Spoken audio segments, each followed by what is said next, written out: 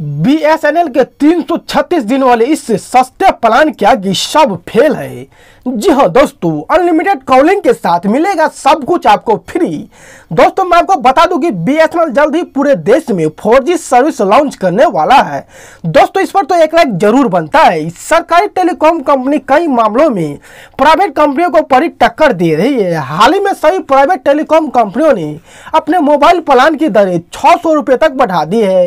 हालाँकि बीएसएनएल ने अपने प्रीपेड प्लान की दरों में कोई बदलाव नहीं किया है। साथ ही कंपनी अपने यूज़र्स को कम कीमत में लंबी वैलिडिटी के साथ बहुत कुछ ऑफ़र कर रही है।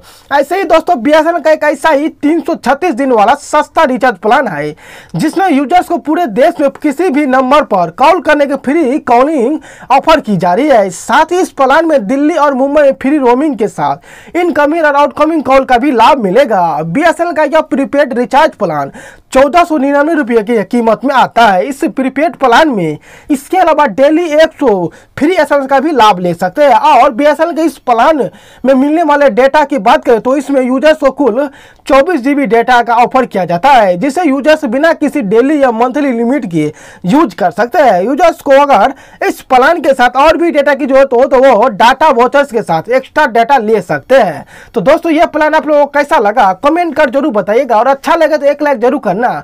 दोस्तों, ऐसे ही बीएसएनएल की खबर सबसे पहले पाना चाहते हैं, इस चैनल को आप लोग ज़रूर सब्सक्राइब कर लीजिएगा।